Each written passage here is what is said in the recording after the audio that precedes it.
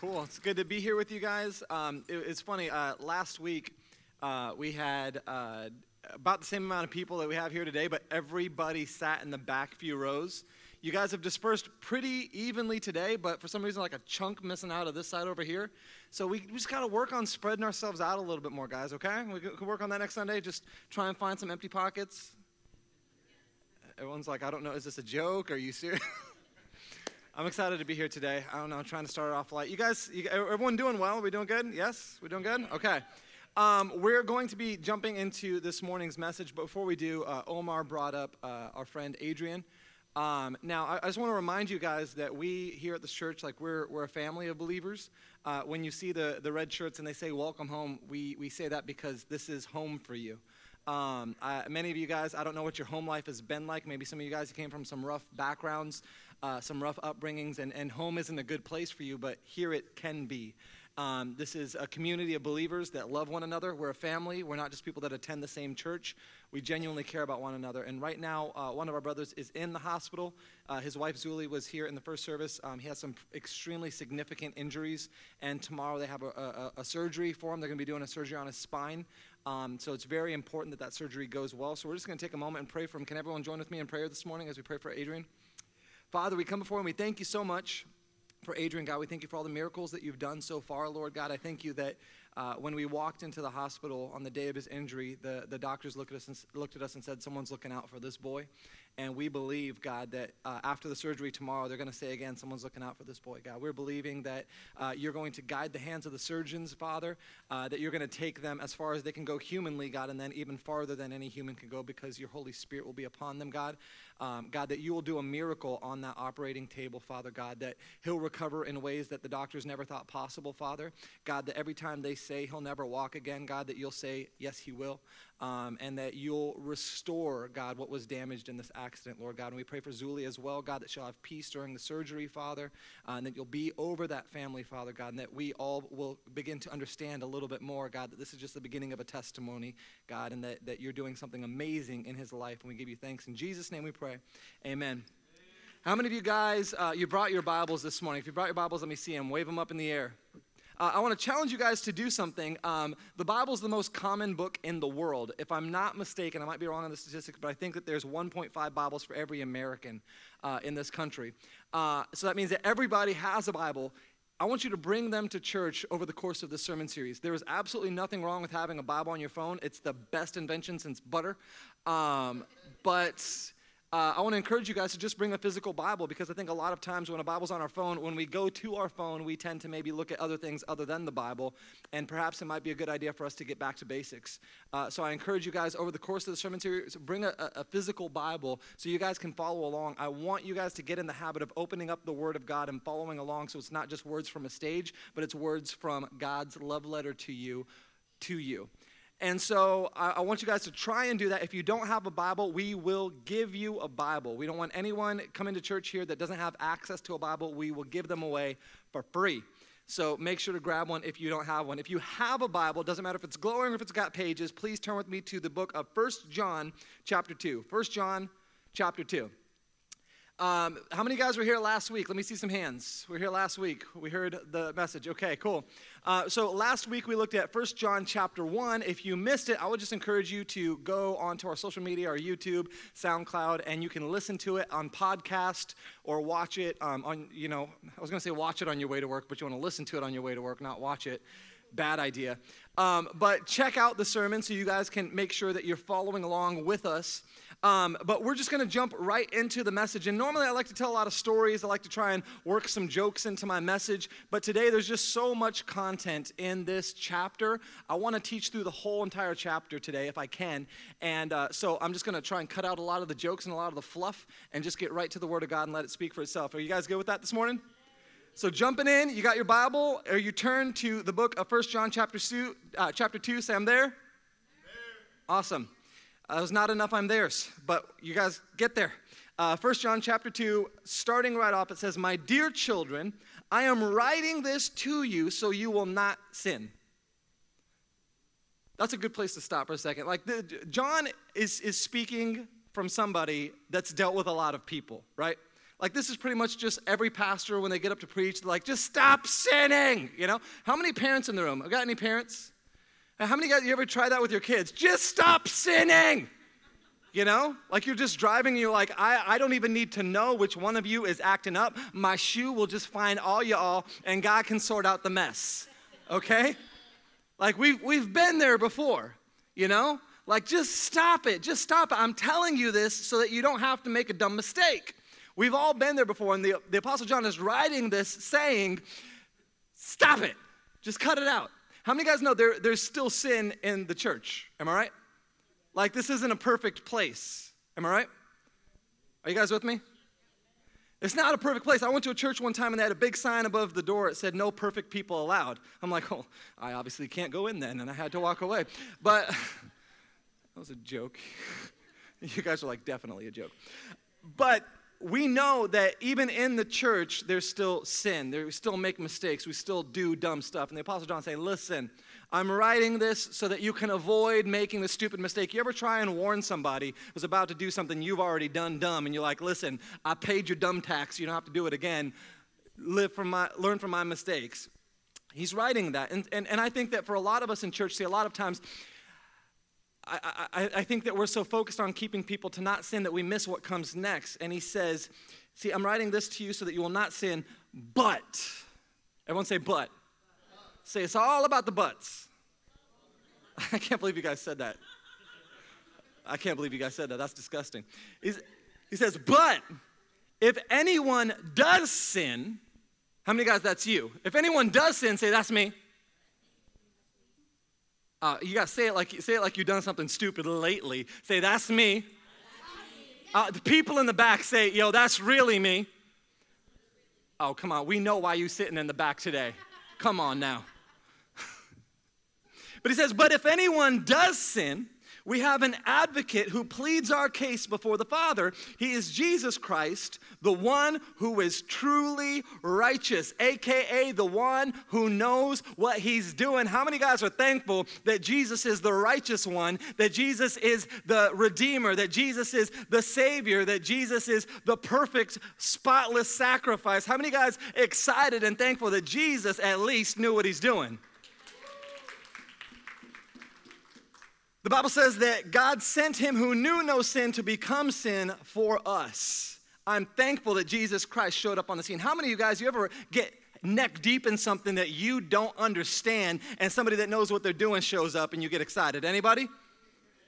Oh, I, I, just thank God, okay? There's a lot of things that I do because I'm confident and then I get neck deep in it. I'm like, I don't know what I'm doing. It's a characteristic of a man, okay? I don't need instructions. I'm going to figure it out. And there's, there's a lot of times where I'm trying to do things particularly handy. Anybody ever get stuck doing something handy and it's just not working out? There's a guy that comes to this church, his name's Eric Rennie. For any guys that know him, know that he is literally like, like God, when he was mixing the formula to make like the most masculine dude, he made Eric Rennie and he just gave him a little dose of everything and just said, oh, he can just, he can do whatever he puts his mind to. Let's just make him perfect and he can go into that church that only perfect people and and I, I, I it's funny because every time i'm working on like a handy project and i'm just like to that point where i want to scream and like punch the project like eric shows up and there's like this sense of relief. Why? Because i know he can do it i know he can do it. And when he shows up, that means it's gonna get done. When he shows up, that means that whatever mess I made, he can unmake because he actually is the one with the ability to perform the task. In the same way, you might have gone and messed up your life, you might have gone and sinned, you might have gone and screwed things up, but Jesus, the one who knows what he's doing, the righteous one, showed up and said, Hey, listen, you've been making a mess of this so far, so let me go and put my hands on it and make it right. Hey, you've been speaking some death into your family every time you screaming and flying off the handle. Let me just speak some peace into the situation right now. Hey, let me just stop you for a second right now because you're blowing through your money, spending on stupid things, but I'm going to teach you how to be generous and how to lift people up out of their misery with the finances that I blessed you with. Hey, let me just step into the situation real quick that you're about to destroy and disintegrate, and let me put it back together because I am the one that fixes broken pieces. Aren't you glad? You guys can get excited. It's church, you guys, okay? I'm not a doctor. I don't have like a negative prognosis for you this morning. It's all good things. Say, it's all good. You guys got a reason for joy this morning. I'm preaching to the people in the back because y'all need to get a little bit excited. You guys got to move around a little bit, shake your shoulders, get into it today. And I remember you guys, like, see, see, here's the thing. I think that sometimes in church, we get things a little bit backward. We make church about getting people to not sin. And every sermon that we preach is about, hey, stop it. Hey, don't do it. We're like the beginning, the first verse of this chapter. And, and, we, we see people around us, and maybe even sometimes that's our approach to parenting, just telling our kids to cut it out and to stop. Are you with me? And everything becomes about prevention. And we forget about the but. Don't forget about the but, okay? Don't forget about it. Those of you guys that are laughing, y'all nasty. and I grew up in church. How many people grew up in church? Anybody? Grew up in church. Now, I grew up in church and I remember like growing up in church, there was no buts. There was no buts in church. And I remember growing up, like just just I felt like I had to get saved every week. Anybody grew up in church, you know what I'm talking about? You had to get saved every single Sunday. Every Sunday, every week I come into church because I know I done backtalk my mama and I put gum on the bottom of a desk and I pulled that girl's pigtail on the playground. I come into church, I'm like, God.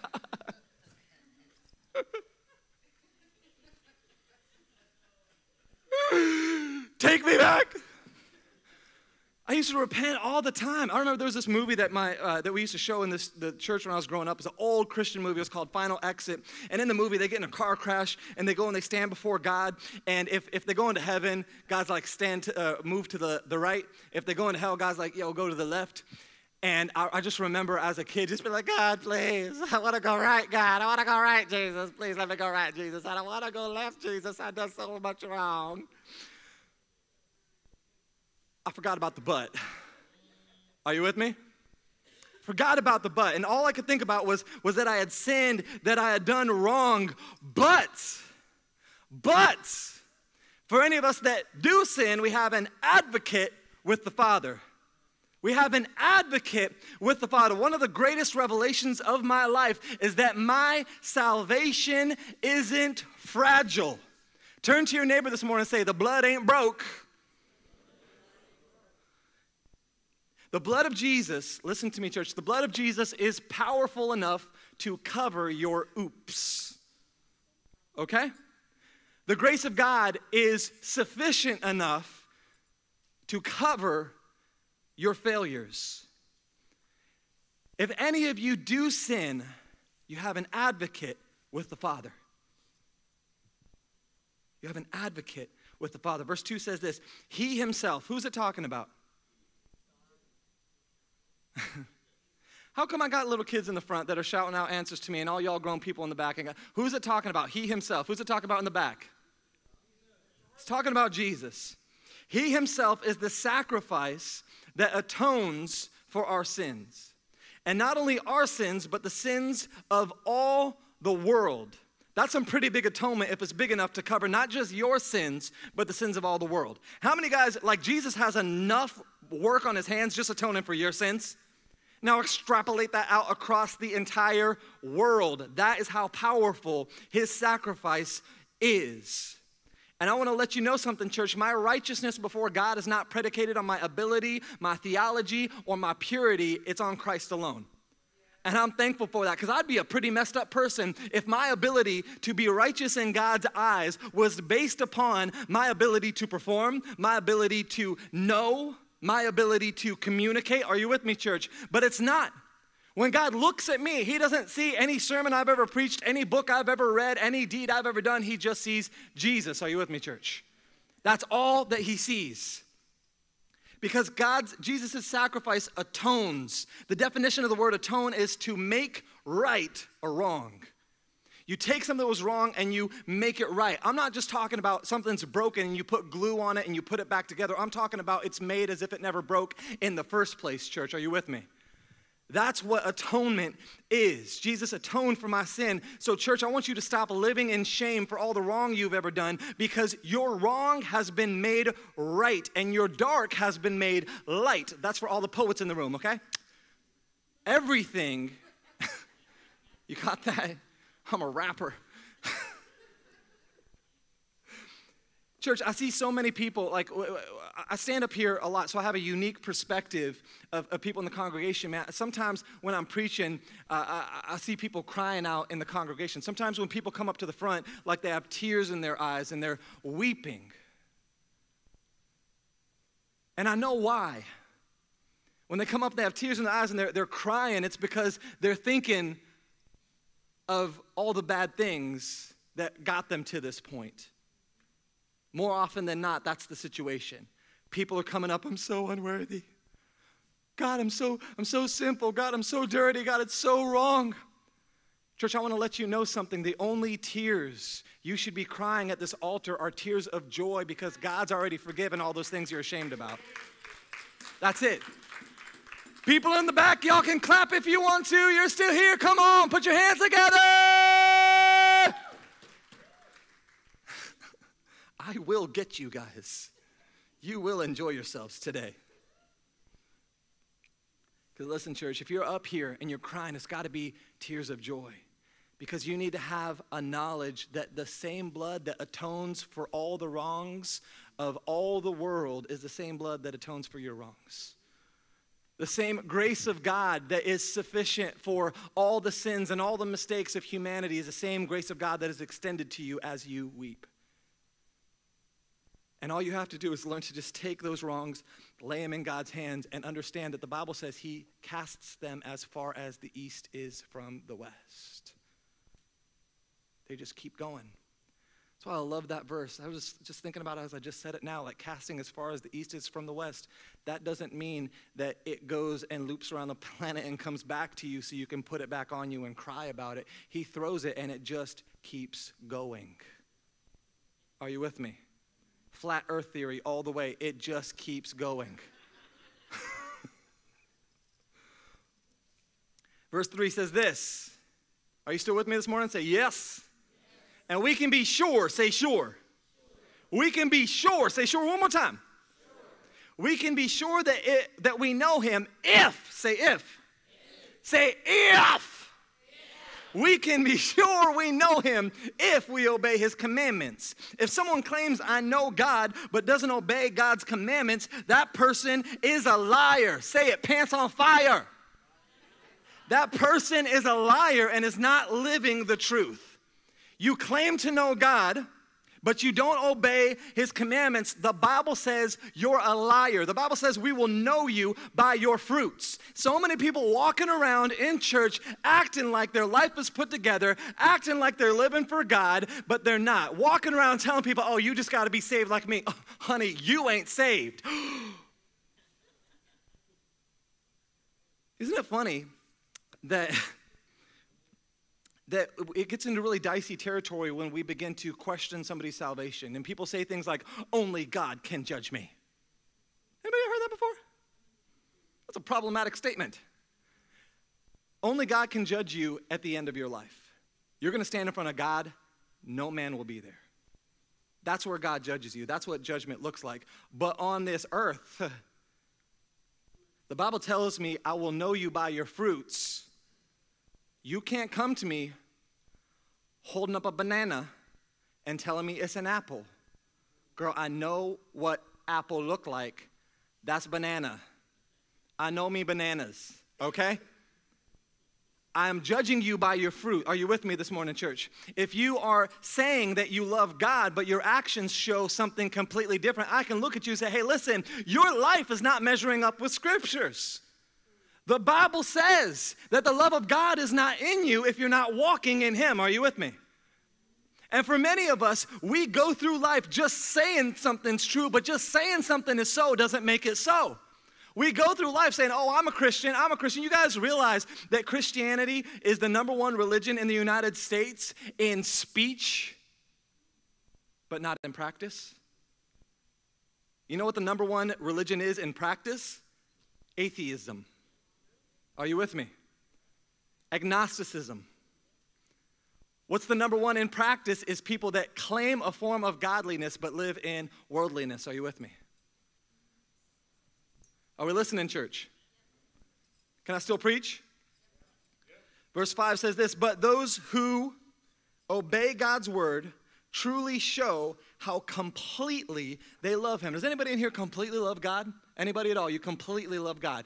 If you if you do, you can get excited about it. You can make some noise. You can shout out. You can say, "Yo, that's me." You can say, "I love me some Jesus." You can wave your hand around. You can stand up and do one of these little turns. I'm serious, you guys. I grew up in church. You're not going to freak me out one day. You guys can stand up in your chair. You can put a hand on heaven like, "I'm completely in love with Jesus." You're not going to mess me up. I'm going to keep on preaching, whether you're quiet, whether you're noisy. But if you're completely in love with Jesus, let me hear somebody shout it out. I'm completely in love with Jesus. Anybody? Goodness gracious. You know, I want to let you guys know, man, you guys are going to get a lot more from today's message if you guys open your hearts to it. Yes. Are you with me? You're going to get a lot more. But those who obey God's word truly show how completely in love they are with Him. It's not just enough to say that you're completely in love with someone, you got to show it. That is how we know that we're living in Him. Those who say that they live in God should live their lives as Jesus did. I think this is such a relevant verse for us, church. Living our lives as Jesus did. If we are in God, we live like Jesus. But I think the problem for many Christians is that we're okay with Jesus living for us, but not us living for Him.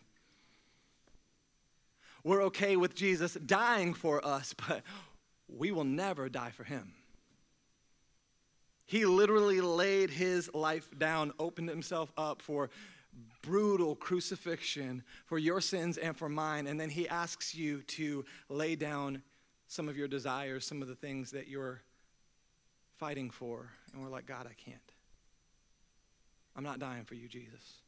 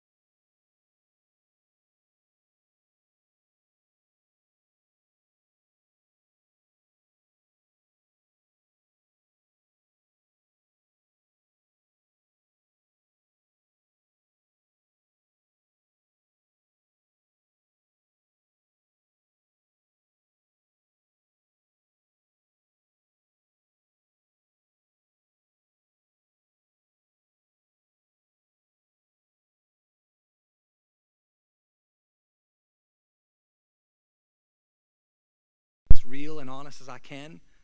And I've seen too much fake in the church. And I don't want anything, I don't want any part of it. Not sad. It's a young man.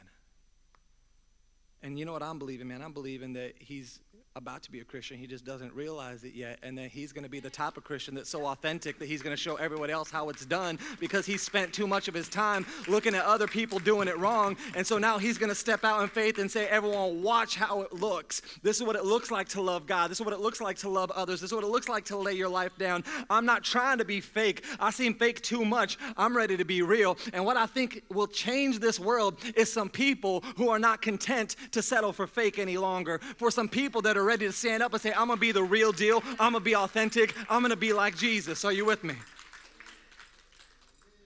But I think we've all seen people who have shaken our faith because they claimed to be of God and they were not. One of my favorite quotes of all time is from a man named Brennan Manning, and he said, The greatest cause of atheism in the world is Christians who acknowledge Jesus with their lips and then walk out the door and carry on with their lifestyle. That is what an unbelieving world simply finds unbelievable. And you know, that's the greatest problem. Whenever Americans are polled, the greatest problem with the church is that. It's that. They're judgmental and they don't even live to the standards that they try to enforce on everyone else.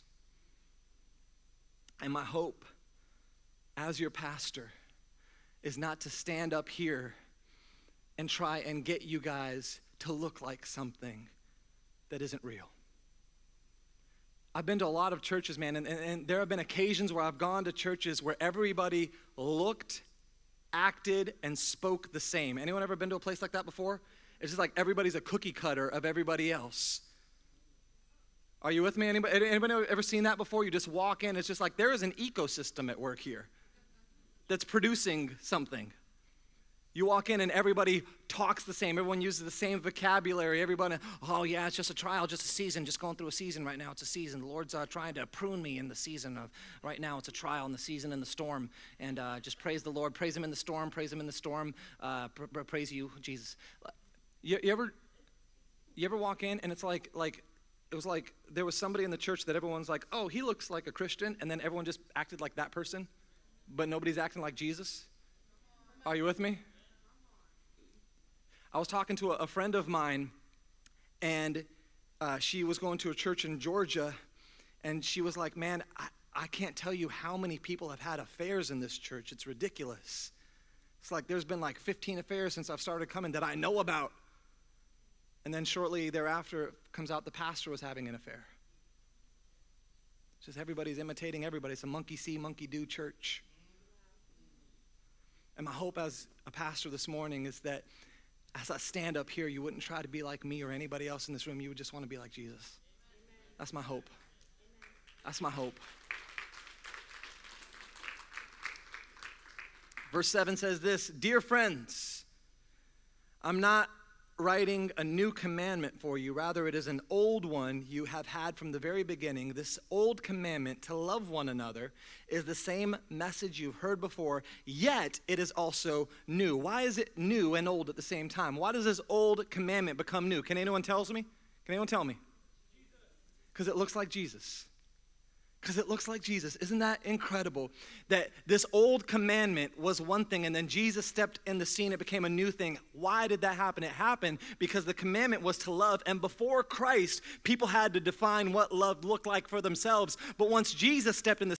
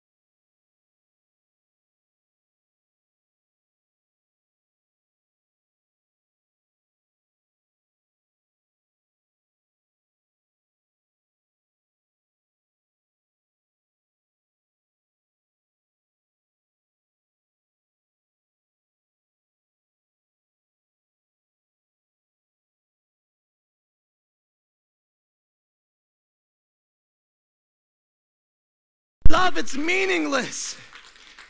And I think anybody in here, if you have experienced love, you could say, you know what, take it and burn it all down, just give me real love. You could take your fancy restaurants, you could take your diamond rings, you could take the vacations, just give me real love. Some of you guys are like, no, I will take the diamonds and the restaurants and the vacations. Keep your love. You messed up.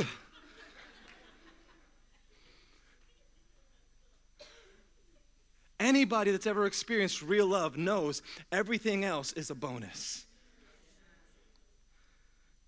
Without love, we're nothing. We're just darkness.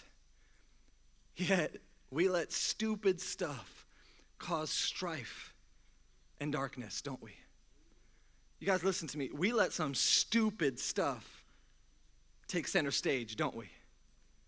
Anybody agree with me this morning? Am I preaching to myself? Is this just to Daniel today?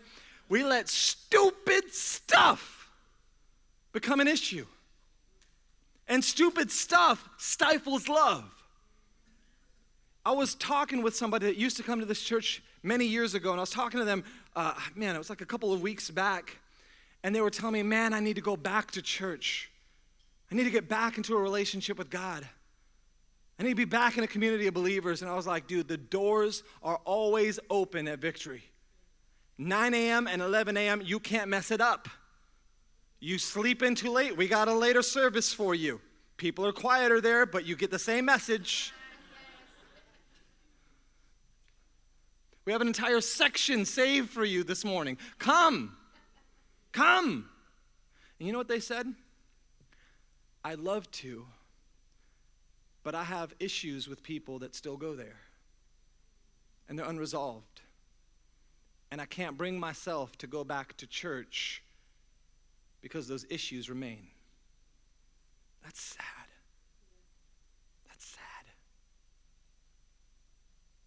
If I'm talking to somebody and I invite them to church and they say no, an acceptable answer to me is them to say, I'm going to another church and God is in that place and I'm being, my needs are being met and I have a relationship with Him and they preach from the Bible and, and, and the Spirit is there. That's a great answer. God bless you. There are awesome churches out there.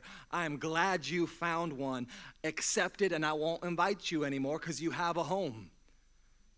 What's not acceptable to me is I'd love to go to your church, but I have conflict with other believers there. And nobody's being the bigger person and just letting it go. Do you have I had, I had a young guy ask me one time, he goes, what, what, what do you spend the majority of your time on as a pastor? Writing sermons? I'm like, no.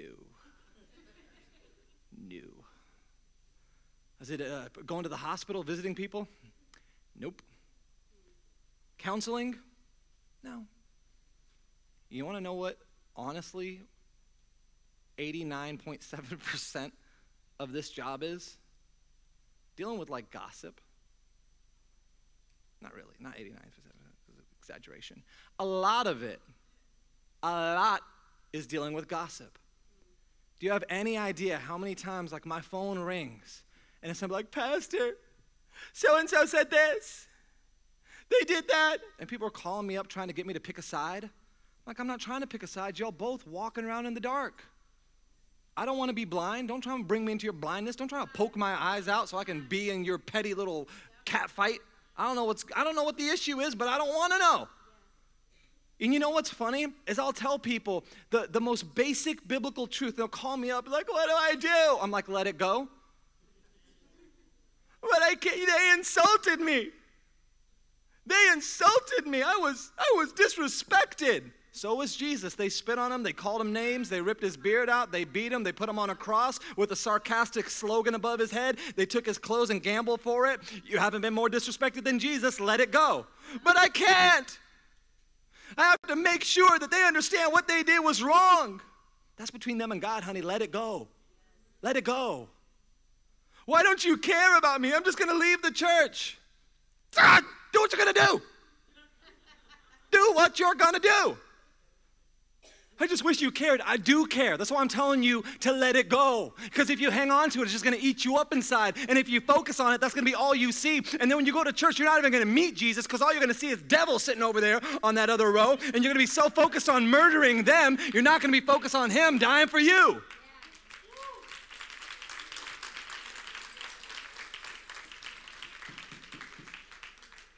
Elsa was right. Just let it go.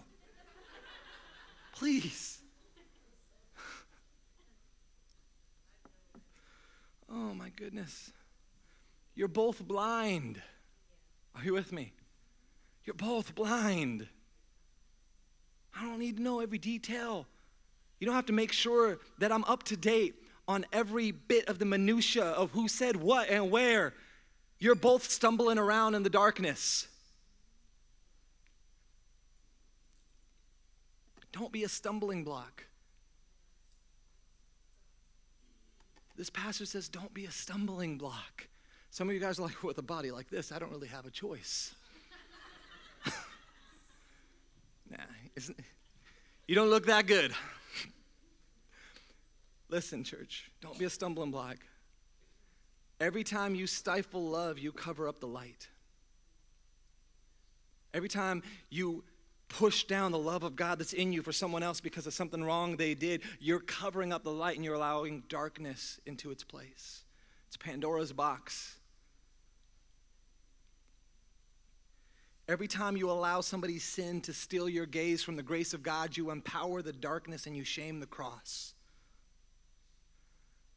Are you listening, man? Jesus is lifted high. And when you're looking at him, man, everything's fine. I'm forgiven, I'm redeemed, I have eternity in heaven. But every so often, man, somebody does something that's just so rancid.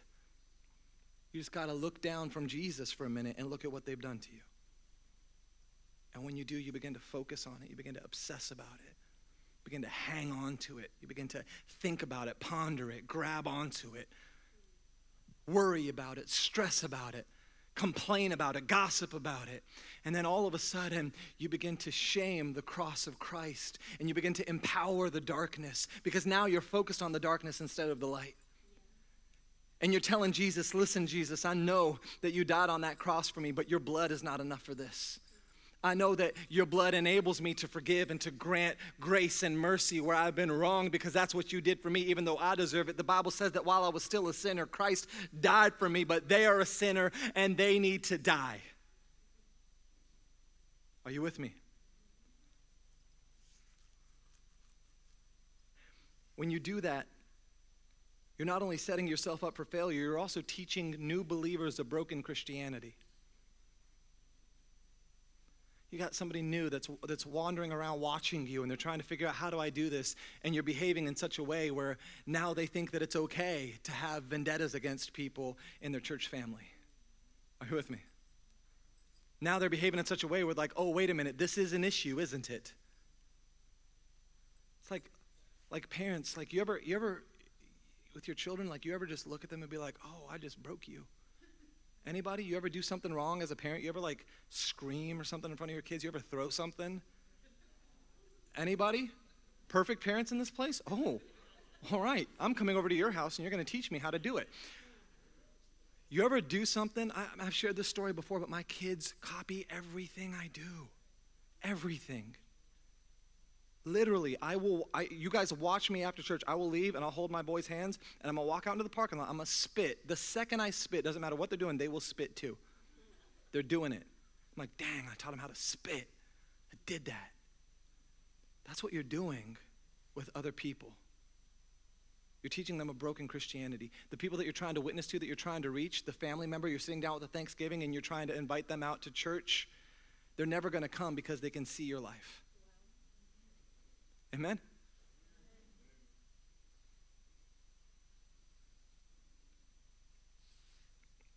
And before long, it's just the blind leading the blind, and we're stumbling into one another. We're creating more collateral damage. And you continuously choose the darkness when you should live like love in the light. That's a killer alliteration for you guys. I am killing it with the L alliterations today. Live like love in the light. I want, I want you guys to do something super middle school for me. Can you guys do something for me? I want you to, to, to make the letter L and put it on your forehead for a second. Everybody in here, participate. Participate.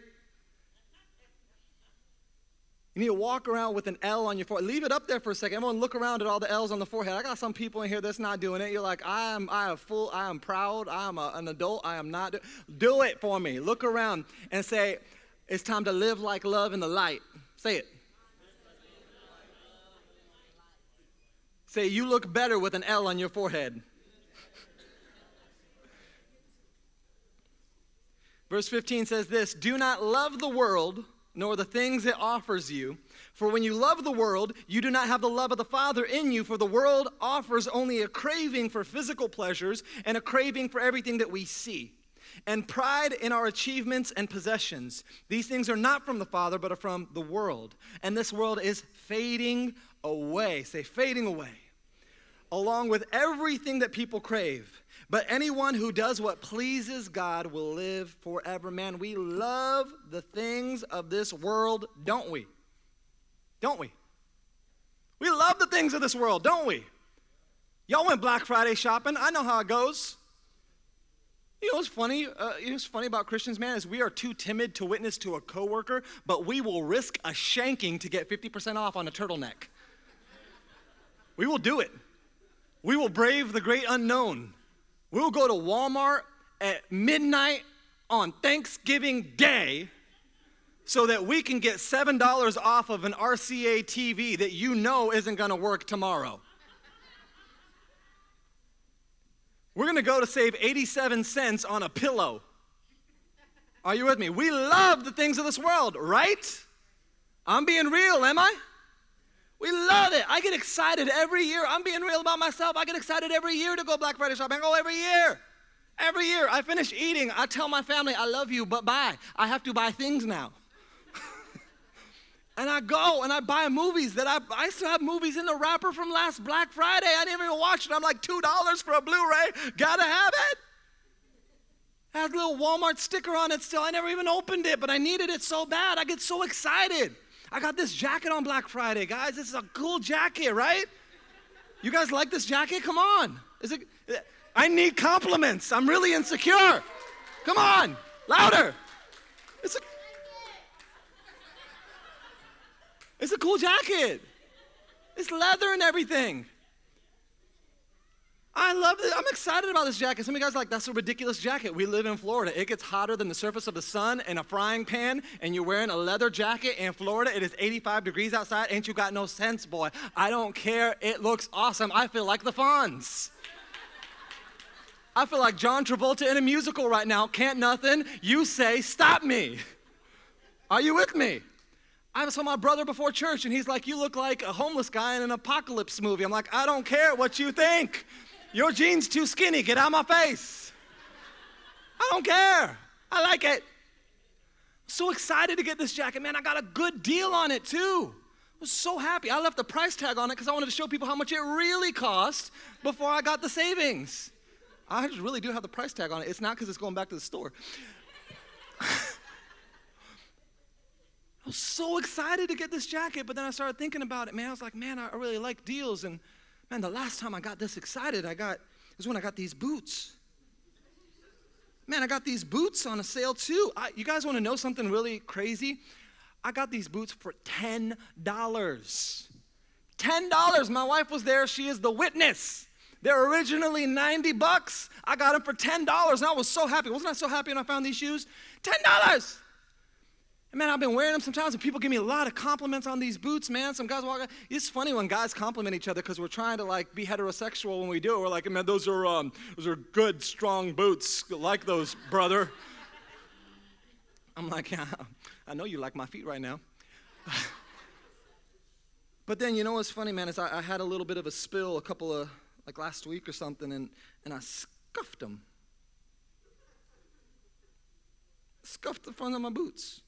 Like you guys can look on my right boot, right in the front. I don't know if you can see it right now. Can you zoom in on the lens? It's a big scuff on the front of my boot. Looked like a puma got a hold of it.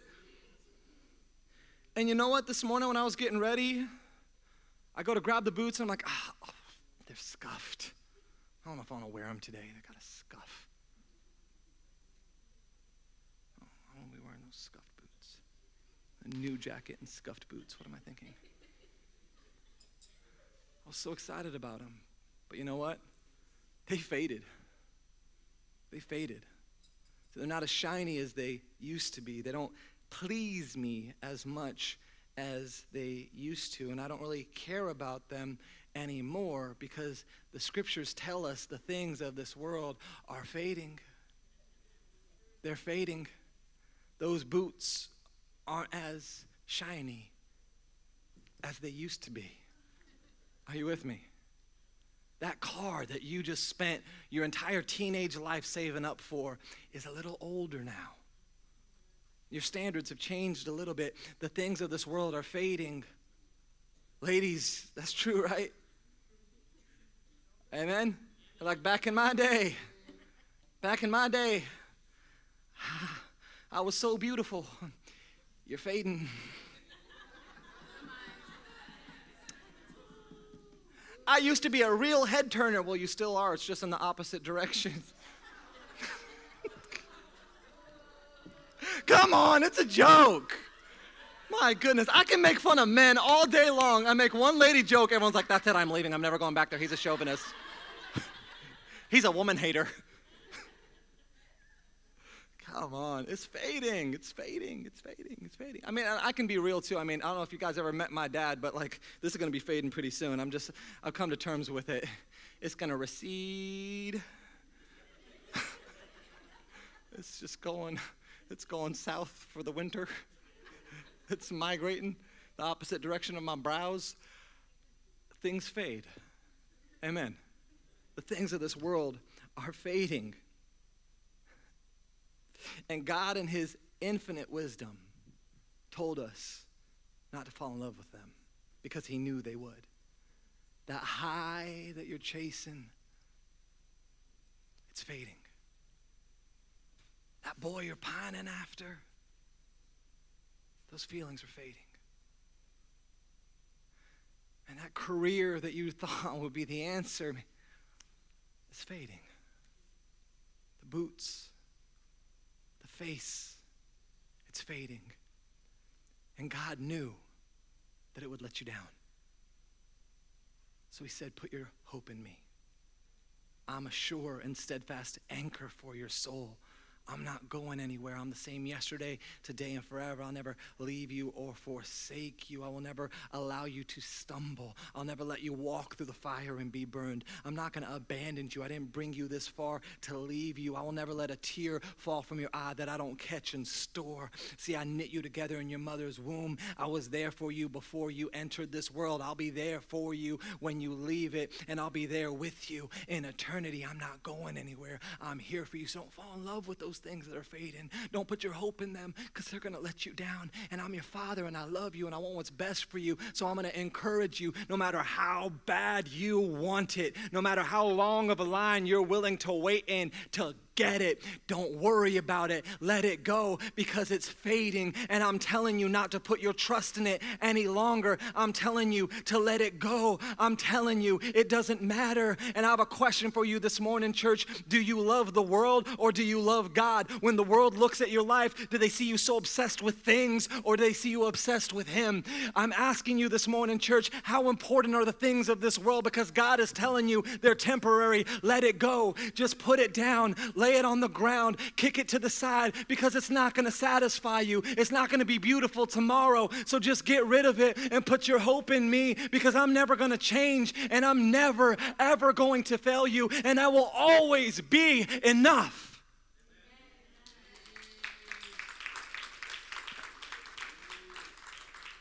When the world looks at your life, what love is more visible, love for the world or love for God? I'm coming to a close. If the worship team could make their way up to the front this morning, we're going to just close in just a few moments. Verse 26 says this I am writing these things to warn you about those who want to lead you astray. But you have received the Holy Spirit, and He lives within you. So you don't need anyone to teach you what is true. Are you listening to me this morning, church? You don't need me to teach you what is true. Are you listening? If you come to church and you're looking and say, Pastor Daniel, tell me what to do, you're gonna mess up. You have the Word of God and the Holy Spirit to teach you what is true. I can complement what the Spirit is doing, but I want to let you know I am always going to be a supplement and not the main course. You need to be sustaining yourself in the truth of the Scripture, in the truth of the Word of God, in the truth of the Holy Spirit, and I'm just a bonus on top of that to help point you in a good direction or help give you a little bit of wisdom. But you know the truth not by my words, but by the Word of God and by the Holy Spirit that is in you. Are you listening, church? For the Spirit teaches you everything you need to know, and what He teaches you is true and it's not a lie. So, just as He taught you, remain in fellowship with Christ. And now, dear children, remain in fellowship with Him, so that when He returns, you will be full of courage and not shrink back from Him in shame. Since we know that Christ is righteous, we also know that all who do what is right are God's children. In closing this morning, I want you to hear this. The Holy Spirit is in you. If you're in Christ, you've got the Holy Spirit. They're inseparable. You know the truth. You know the truth, and that's why you recognize the truth when you hear it. You know, I had so many people come up to me last week, and, the, the, and they, they, they were talking about the sermon, and the, the most common thing that I heard was I had probably four people use these exact same words Man, your sermon was so true. Your sermon is so true. How could four people agree that the words that came out of my mouth were so true to use those exact words? It's because the Spirit in me is testifying to the Spirit in you. It's because you know the truth because the Holy Spirit is in you. And when I open up the Word of God and I begin to read out of it, there's something inside of you that says, Yes, that's for me. Yes, that's accurate. That might be difficult for me to hear, but it's for me. That might be hard for me to swallow, but I gotta. And I know that that is from God. And I know that if I just accept it, some change can happen. You know the truth. The question for you this morning is do you walk in it? Are you walking in the truth? Just knowing the truth isn't good enough. You can know how to get to your destination, but if you don't walk out the path, you'll never get there. Are you listening to me, church? It's time to stop shrinking back in your shame. It's time to stop defaulting back to this place that says there's no reason for me to go forward any longer. It's time for you to stop getting back to this place where you're like, man, God's mad at me, and that's why I'll never be able to be who I need to be. It's time to stop shrinking back because you have an advocate with the Father, your sins are forgiven, and it's time to walk in love. So lift your head up high and step into the light. There's no longer any condemnation for those who are in Christ. You are a new creation. The old things have passed away, everything becomes new. So stop falling in love with the things of this world. Stop hanging on to all this stuff that you thought was valuable because it's worthless and it's fading. And start running towards God and say, I'm not going to let another issue raise up between me and somebody else in this church because you put me here. And I'm going to be who you need me to be for your glory. And I'm going to forgive and I'm going to show grace and I'm going to show mercy and I'm going to start loving people because when the world looks at my life, I want them to see Jesus. Jesus. I don't want them to see me. I don't want them to see my pastor. I want them to see Christ. And I don't want them to see love for the world and the things that fade. I want them to see an example of love for eternal things. I'm in love with Jesus and I'm walking in the light this morning. Give God a shout of praise.